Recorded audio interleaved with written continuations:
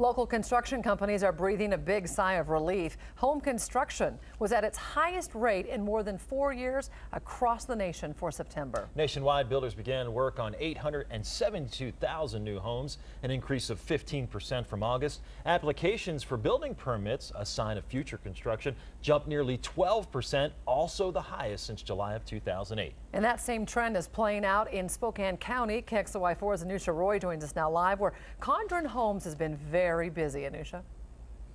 And this construction is a sight for sore eyes. This company has 10 different projects going on right now. It is a lot of work for the company, but one that's definitely welcome.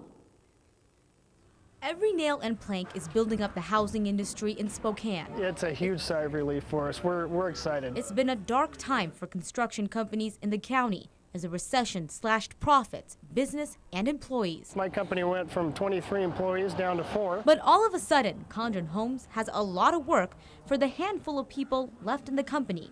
They've seen the biggest spike in home sales over the last two months in six years. The depressed housing market has lasted so long, and I think people are just tired of waiting. They're getting off the fence, and consumer confidence, I think, is what's driving this market right now. It's a trend playing out across the county. It is a sign, an encouraging sign for our industry that things are starting to turn around. Not only are building permits up, there's a 31% increase in how much these permits are worth. That means more expensive houses are selling. For every home built creates, on average, three and a half jobs.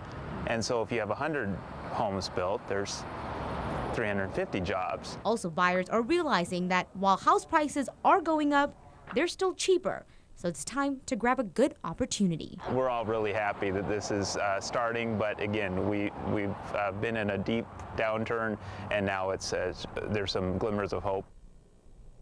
And with all of this, does come growing pains, and it appears that a lot of skilled workers have left the area, gone for places like Seattle and the oil fields.